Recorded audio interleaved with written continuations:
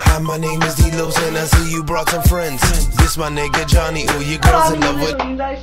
Bom, hoje o vídeo vai ser de culinária. Então, pro nosso primeiro vídeo do ano de 2015, eu vou trazer uma receita bem doce para alegrar o nosso ano, começar o nosso ano bem. Pois é, meninas.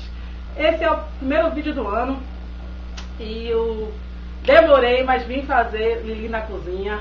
Então, hoje eu vou ensinar vocês a fazer chandelle ou danete. Que eu fiz, postei no blog e vocês me pediram, então hoje eu vou ensinar, tá? Então, desculpa a iluminação, tô na casa de minha mãe, então não vai ficar muito legal, mas acho que dá pra mostrar alguma coisa. Vamos lá para os ingredientes do nosso chandelle. Você vai precisar de um litro de leite, é, líquido integral, maisena, leite condensado, creme de leite reserva, chocolate em pó, uma gema e manteiga ou margarina. O chocolate que eu estou usando é o 100% cacau, então tenha muito cuidado com eles. Se vocês forem usar qualquer chocolate para fazer esse donete, o cacau esse aqui, ó, 100% cacau. Se vocês forem usar outro chocolate para fazer o donete, o ideal para fazer o, o chandelle é com aquele do, do Flade, sabe? Aquele da Nestlé que tem dois padres na frente. Então, o melhor de fazer o chandelle é dele, porque nem com Nescau e nem com a chocolatada peste, porque fica muito doce e fica horrível, né? Então, vamos lá colocar nossos ingredientes na panela. Eu vou começar, tá? Eu vou separar meio copo do, do leite. Vou reservar, tá? eu vou colocar o restante na panela. Eu não liguei o fogo ainda. Então, é um litro de leite, tá? Lá. Tem leite? Não tem leite? Não tem leite? Não tem leite. Ainda tem leite. Não tem mais. Um litro de leite. É, um leite condensado, tá? Em uma caixa ligeira para deixar esse negócio aqui tudo cortado.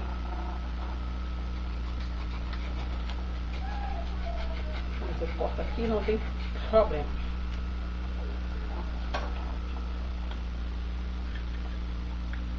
Então, um litro de uma caixa de leite condensado.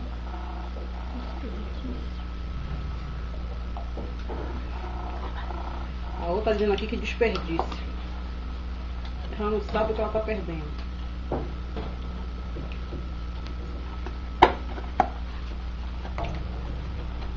Gente, é tão bom essa receita, sabe? Fica parecendo mesmo o, o chandelle da Nestlé.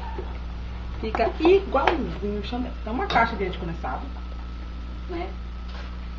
E agora eu vou pegar a maisena, por isso que eu separei o leite. E vou colocar no leite 6 colheres de maisena, tá? 6 colheres de sopa de maisena. Duas. Três. Eu vou dissolver primeiro essas três.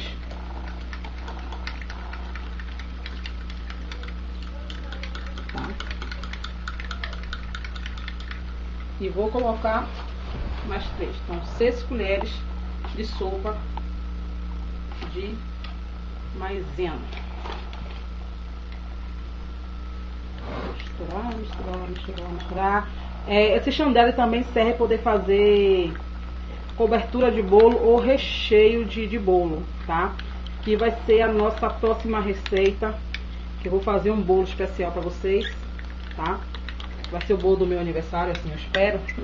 que eu vou fazer com o recheio dele totalmente diferente para vocês, tá? Então, vou colocar minhas seis colheres de maisena com leite aqui.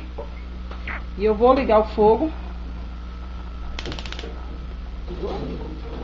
Dar uma misturinha. Vou acrescentar aqui uma colher de sopa de, de manteiga ou margarina tá? Margarina. Hum, como eu vou usar cacau em pó, eu não vou colocar 6 colheres de, de cacau. Porque eu já conheço o meu cacau, tá? Então, eu vou colocar duas colheres cheias de cacau em pó, porque senão ele fica muito preto. Bota mais. Duas colheres cheias de cacau em pó. Da última vez que eu fiz, eu coloquei seis colheres de cacau em pó. Ficou preto. Ficou muito preto. O chandel. Mistura, eu vou baixar aqui um pouquinho o fogo, depois eu aumento, só para misturar esse chocolate aqui, que é ruim. Tá? Eu vou acrescentar aqui também nessa mistura uma gema de ovo, tá? Tô acrescentando aqui na mistura uma gema de ovo. Por que, que eu faço tudo isso com o fogo baixo? Porque é jogar a gema e mexer rapidamente. Porque se você jogar essa gema aqui já com essa mistura quente, vai não vai dar certo. Então eu vou misturar até dissolver esse chocolate aqui, que daqui a pouco dissolve.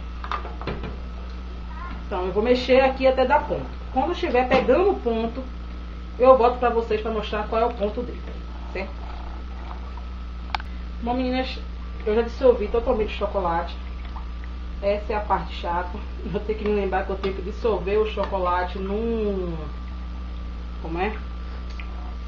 Se diz? No leite, antes de colocar aí. Tá. E aqui o segredo aqui é o seguinte. Mexendo, mexendo, sem parar de mexer de jeito nenhum, tá? Que ele vai pegar consistência. Ele tá dessa cor aqui, mas daqui a pouco ele vai mudar de cor. Como eu tive um pequeno acidente com o primeiro que eu fiz, mas ficou gostoso, porque eu coloquei muito cacau em pó, entendeu? Porque manhã, como a mãe faz sorvete, ela não trabalha com chocolate comum, ela trabalha com cacau em pó. E sempre o que ela, o cacau que ela compra, ou é 50% cacau ou é 100% cacau. Então, se a gente não tiver cuidado, fica super amargo tudo que a gente faz com cacau em pó. Eu gosto muito de fazer, sabe o quê? Brigadeiro com cacau em pó porque ele não fica tão doce assim, fica bem gostoso. Ou então, bolo de chocolate, que eu vou fazer um recheio bem doce, eu gosto de usar o cacau em pó para isso, porque o bolo não fica tão doce assim. Então vamos lá, ele já está começando a querer engrossar, tá? O ponto dele é um ponto de um mingau grosso, tá bom? Eu vou mexer mais um pouquinho aqui e volto para mostrar o ponto dele final para vocês, tá? Beijo já tá chegando no ponto, tá? Ele já engrossou. Então vai ficar parecendo um mingau mesmo, ó, pra vocês verem, ó. Tá vendo? Não pode parar de mexer de jeito nenhum para não empelotar, tá? Se vocês quiserem ficar cheio de bolinha. Se vocês quiserem mais escuro do que isso, dependendo do seu chocolate que você usar, você pode botar mais, tá? Mas eu não vou botar mais chocolate aqui do meu, porque Senão, ele vai ficar muito amargo. Eu não quero ele amargo. Tá? Então, você vai mexendo. Tá? E a consistência dele é essa aqui, ó. Tá? É sendo um mingau mesmo grosso. Quando você vê o fundo da panela aqui, ó, se tiver assim, aparecer o fundo da panela, já tá bom. Eu vou mexendo. Eu vou deixar engrossar mais um pouquinho. Eu gosto dele um pouco mais grosso. Tá bom? Aqui eu vou deixar engrossar só mais um pouquinho. Vou deixar esfriar um, um pouco. E eu volto com vocês para finalizar o nosso chandelo, tá? Então, só mais um minutinho. A iluminação agora vai ficar ruim por causa da janela, tá? Então, assim, é, eu já coloquei aqui na batedeira, tá bom? Já coloquei na batedeira todo o chandeira que estava na panela. Pegar uma colher e ele fica assim. Tá quente ainda, ele fica bem assim, ele fica assim. Dá pra ver? Tá quente ainda. Tá? Eu vou pegar agora nosso creme de leite, que é por último. Deixa eu cortar aqui. Também gosto de brigadeiro. Então, eu uso 200 gramas de creme de leite, tá? Aquela caixinha pequena. E eu vou colocar o creme de leite aqui dentro. Todo aqui dentro. Com creme de Então, despeja todo aqui dentro. E a gente vai bater. Eu vou bater mais ou menos por uns 10 minutos, tá bom, meninas? Então, vamos lá.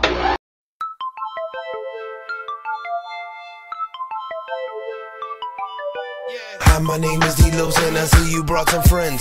This my nigga Johnny, ooh, your girl's in love with him. Ooh, ooh, that sounds so perfect, there's a place that we can go. Where DJs play that Zook, shorty, you already know. We can skip the line and the drinks are gonna flow. Catch me up in rehab, cause I swear this girl is dope. Said forget the club, we can go just us. Been yearning for your touch, so tonight we making love. I think I love so we started in the crap. She grabbed my piece, I grabbed the ass, and yeah, I think we moving fast. Adrenaline is rushing, and you know she had a blast. And then she started moaning when I smacked her ass like, yeah, yeah.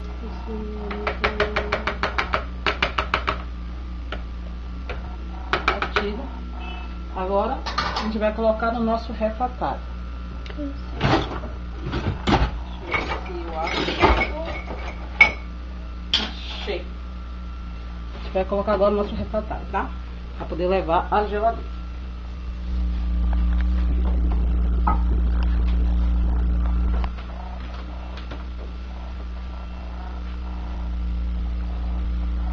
Isso. Pode ser no refratário maior que você estiver, tá? Tá pronto o nosso chandelinho, tá? Agora é levar para a geladeira esperar de 3 a 2 horas de relógio e saborear o nosso chandelle. Então eu vou agora simplesmente lamber a vasilha. Tá? Então a gente vai levar nosso chandelle para a geladeira. Está aqui. Prontinho. Ei, que gostoso nosso chandelle. Eu vou levar para a geladeira de duas a três horas, tá? E vou raspar a panela e lamber a vasilha, que eu não sou besta, né? Então, essa aqui é a nossa receita. Ele fica bem cremoso, bem gostoso, parecendo mesmo aquele chandelle da Nestlé, tá? Espero que vocês tenham gostado de mais um vídeo o nosso primeiro vídeo do ano e feliz 2015 para todos vocês. Um beijo, cheio da Lili, fique com Deus. Vai, vai.